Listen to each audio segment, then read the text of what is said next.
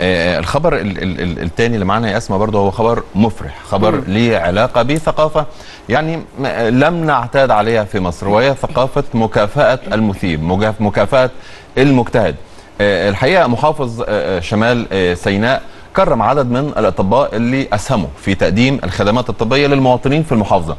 طبعا في حضور آه، المحافظ محافظ شمال سيناء ورئيس جامعة القاهرة وعميد كلية الطب بالجامعة. خلينا نروح نشوف التقرير ونرجع تاني.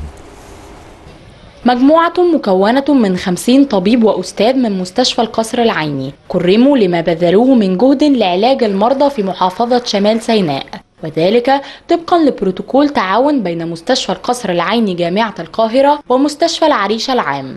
الفكرة إن إحنا بيبقى في حوالي آه، 16 طبيب آه، بيكونوا مجموعة تخصصات التخصصات دي التخصصات الحرجة أو التخصصات اللي صعب إن هي تتواجد بصفة مستديمة أو صفة دايمة داخل محافظة شمال سيناء وخاصة داخل مستشفى العريش. فالبروتوكول ده بيعوض عدم وجود تلك التخصصات. الحقيقة ال- ال- الرد الفعل من المواطن في شمال سيناء كان جميل جدا. الحقيقة كلهم آه، آه، مبسوطين من إنهم بقوا بيقدروا يتعالجوا بكل تخصصات الطب بقت موجودة في مستشفى العريش في شمال سيناء. فما عادوش محتاجين إن هم ينزلوا القاهرة أو كده يتعالجوا. كل عملياتهم بتتعمل هناك. كل رعاية مركزة تخدير جراحة مخ وأعصاب جراحة أوعية دموية كله بيتعمل. بدأ منذ أربعة أشهر توافد قوافل طبية من ثلاثة تخصصات مختلفة إلى محافظة شمال سيناء بصفة دورية وذلك لمساعدة الأطباء في مستشفى العريش العام وسد أي عجز. حاسس بفخر عظيم إن أنا عرفت أشارك في حاجة زي كده مهمة جدا أو في نظري إن هي مهمة جدا إن الواحد يقدر يعني يساعد آه، في منطقة آه، منطقة زي دي آه، و- وده يبقى يعني زي شرف لينا إن إحنا نقدر نشارك في حاجة زي كده. إحنا عملنا شغلنا. أنا دكتور دكتور في القاهرة دكتور في اسكندرية دكتور في العريش. فأنا بالنسبة لي اللي عملته ده جزء من شغلي. وكانت فعلا سعادة يعني مش عايز أقول لك سعادة قد إيه إن إحنا كنا شغالين هناك في شمال سيناء. و- وشفنا الوضع إحنا يعني ما سمعناش بقى كلام حد أو حد بيقول أو اللي بيحصل لا إحنا شفنا كل حاجة على أرض الواقع.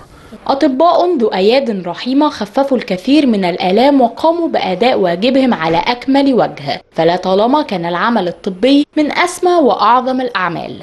ندى هشام أون لايف يعني كمان برضو يا أسماء من الحاجات اللي ممكن آه، يعني استرعت انتباهي في الخبر ده إن الأطباء رايحين منطقه منطقة دي كلنا عايزين نروح ننمي فيها كلنا صحيح. عايزين نروح نتواجد فيها. صح. لن يهزم الإرهاب إلا بالتنميه لن يهزم الإرهاب إلا بالتنميه الدكاترة دي شافت شغلها وراحت ليه سافرت من الأماكن بتاعتها وأماكن تج... آه، وجودها وأماكن سكنها وراحت سافرت علشان تخدم الناس أهالينا اللي موجودة في شمال سيناء. كل الشكر طبعا. ليهم. طبعا. وال- والحلو كمان رجاء إن يعني زي ما أنت قلت كده إن سينا وشمال سينا فيها كل حاجة. مكافحة الإرهاب تنمية مشروعات قومية حديثة آه، الاهتمام بكل المجالات باهالي سينا. يمكن في سنين كتير عدت علينا كنا يعني بعيد عن أهالي سينا وبعيد عن آه، اهتماماتهم ومجالاتهم. بس إن أنت كمان بتودي دكاترة وهم متحمسين ومبسوطين جدا إن هم راحوا خدموا في شمال سينا. صحيح. الحلو كمان التقدير. التقدير بيساعد أكتر إن أكيد. أنت تتحمس تشتغل أكتر وينشط و... و... ويعزز الثقة أكتر إن الدكاترة تانيين كتير يحبوا يروحوا ويخدموا ويعني يستغلوا كل منطقة في مصر يخدموا فيها أهلها